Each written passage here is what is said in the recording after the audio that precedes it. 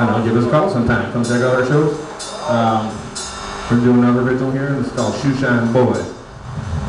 So go get your shine box.